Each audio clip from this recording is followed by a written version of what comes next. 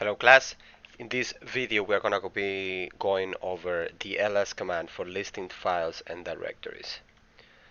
Let me go full screen over here. Perfect. So the ls command is used for listing the contents of a given directory or to viewing the file itself, specifically um, to view some uh, information about the file. Whenever you're navigating the file system, the ls command is like your eyes. You want to see what's inside somewhere, you use the ls command to see what the folder contains. ls can be used with arguments or without arguments and as you recall from our class you know when you provide an argument to a command it enhances its functionality when ls is used without no arguments or nothing it simply it simply lists the content of where you currently are. So it lists the present working directory. Ls has a lot of options that make it a very useful command. If you ever want to see the options that the ls command you can always read the manual page by typing man and ls and this page has all the information about the ls command. If you want to exit this page you press the q letter on your keyboard as it sets in the bottom of the terminal. Um, one of the neat things about the ls command is its ability to sort the, the, the data that you're viewing, the content of the directory in specific ways. You can sort them by the last time a file was modified, by its extension, by the size, uh, you know, by name, which is the default in alphabetical order, and you can reverse the alphabetical sort as well. So let's uh, practice a little bit with the ls command. So what I'm gonna do is that I am going to go to my cd user share. Actually I think I have some stuff in the downloads directory okay? So let's say that I want to see what's inside the downloads directory. So if I type simply ls and as you can see my present working directory is the downloads folder. If I type ls it's gonna show me what I have inside the downloads folder. For instance if I open a file manager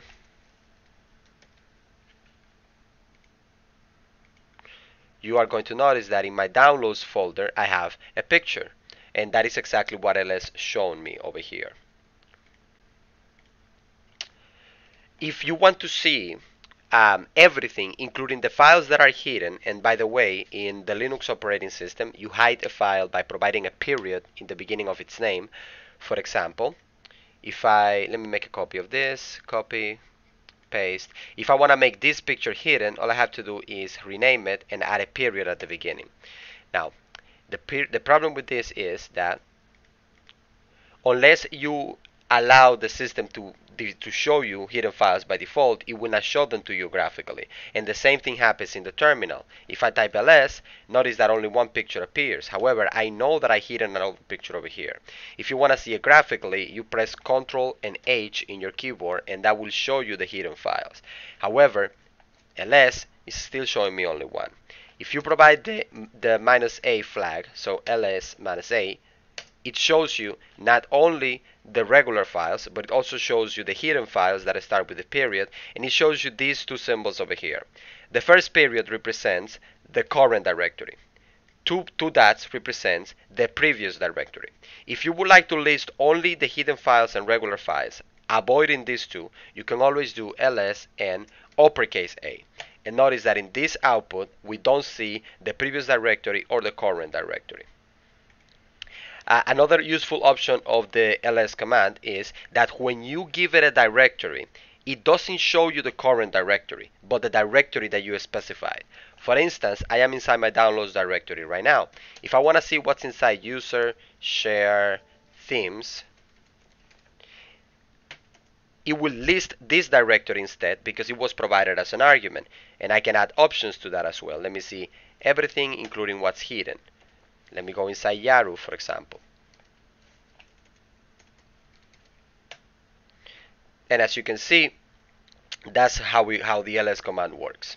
There are other options of the ls command as well that you can implement, and in your lab you're gonna be able to work with with with, uh, with some of those options. For example, if you want to do a long list, meaning I want to see the files that are in the directory, but I also want to see information about that file, you can do ls minus l and this is and this is short for long listing and as you can see not only shows me the file but it gives me some metadata about the file now let's take a look at what that metadata means so in the beginning we see a bunch of letters over here and dashes. Now these are the permissions of the file.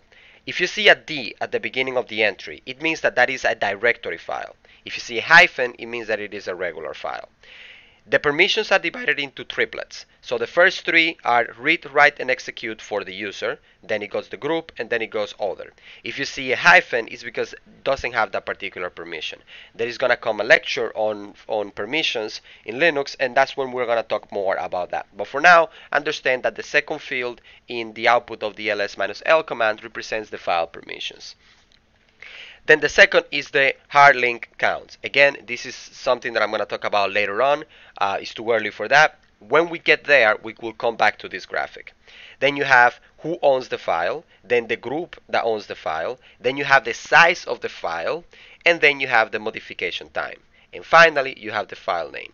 Now, when the file is small, the file size here doesn't really matter much. But when the file is large, sometimes you want to read this in a more human-friendly format.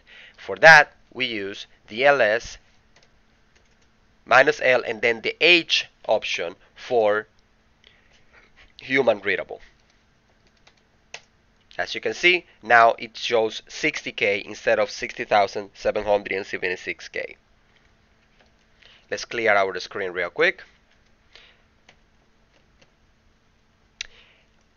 That just explain what I just showed you before. Now here are some, some more examples of the ls command. If you want to list all the files in a given directory and you want to sort it by the last time the particular file was modified, you can use the minus t option. For example, I want to list everything inside my home directory and I want to sort it by the last time it was modified. Let me do a more specific directory as a second example. I know that I have a directory called icons on my on my home directory. It's a hidden directory. You probably are not going to have that one. As you can see, if I provide the L option, right, because I want to see the, the the metadata of the files. A, so to show so that I can see hidden files, and T because I want to sort everything by last modified. Notice that the last item that got modified were in October 7, today. But these ones were modified on January 19. So these ones appear first. If you want to uh, list all the files but sort them by file size, you can do the capital S option. If you want to sort them by file extension, you can do the X. If you want to reverse the sorting, you can do my lowercase r. If you want to do it recursively, which means that if it finds a folder, if it finds a subfolder in the particular folder you want to list, it's also going to list the subfolder. For example, if I do minus R over here in the icons directory, notice that the icons directory has three files over here, but it also has three folders. If I do minus R, it lists everything, but it also goes inside the material light cursors directory and it lists what's in there. It goes inside cursors and it lists what's inside cursors, and it's so on.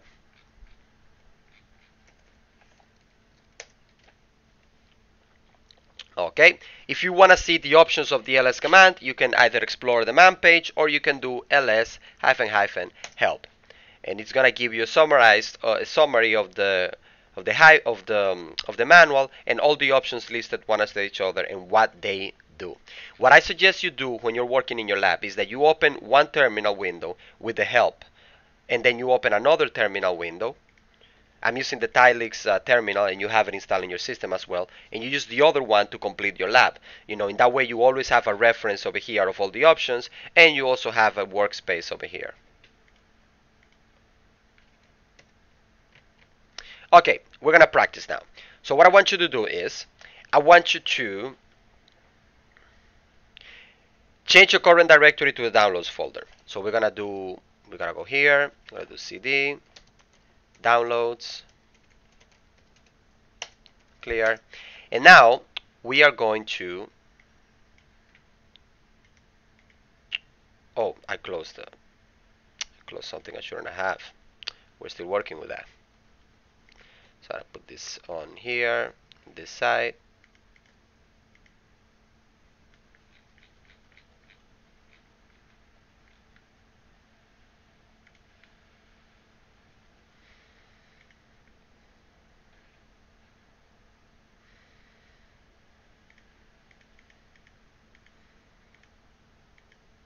And what we're going to do is that we're going to download these pictures using wget, which means webget, which is a command that allows us to download files from the internet. So I'm going to do wget, and I'm going to type this URL. So https robertalberto.com slash linux.gif.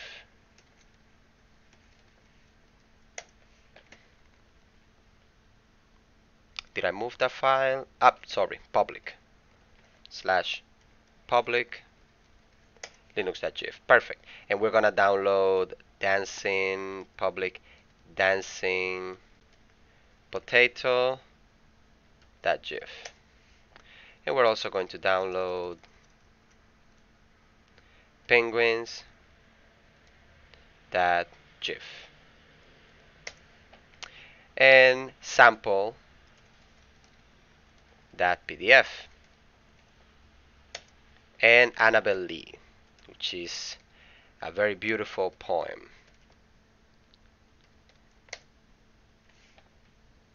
perfect let's do clear and let's see what's inside the downloads folder I have all my files over there so instruction number two says